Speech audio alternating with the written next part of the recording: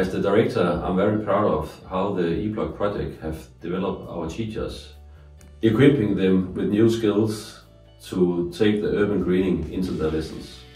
Furthermore, our collaboration with diverse stakeholders eager to work on urban greening initiatives has been a highlight, fostering strong partnerships and community engagement.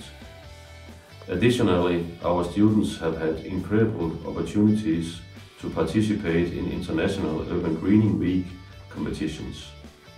Thanks to the EPUG projects, we bought new tools to improve students' learning experience during hands-on lessons. Hi, my name is Marie. I'm studying to become a landscape gardener and I participated in two um, urban greening weeks. It was fun to meet other young people and learn about how they do in, in their home countries. Thanks to the EPUG project, we've opened our eyes about how we can cooperate, co-teach. We've opened our eyes to how we can use technology to enrich our teaching methods.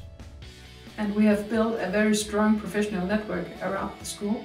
Personally, I love the fact that during the past four years, we've strengthened the uh, cooperation between all sides, all COVEs, um, for example, with the showcase sessions, and also that we got to really delve into how we can use technology in educational methods. Personally, now my mind and eyes are always on the biodiversity and the climate solutions in the urban areas. A lot of people have made a huge impact on my mind. Being part of the EPUG project has been tremendous for us at Green Academy. It has been a huge development.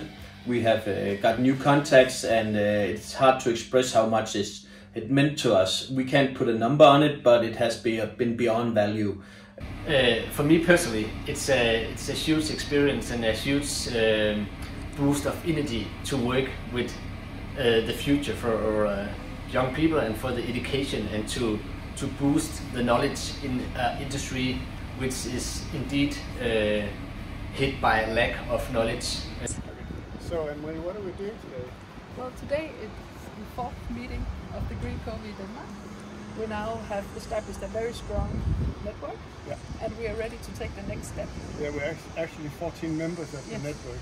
That's really nice. Yeah. And what are they working on now?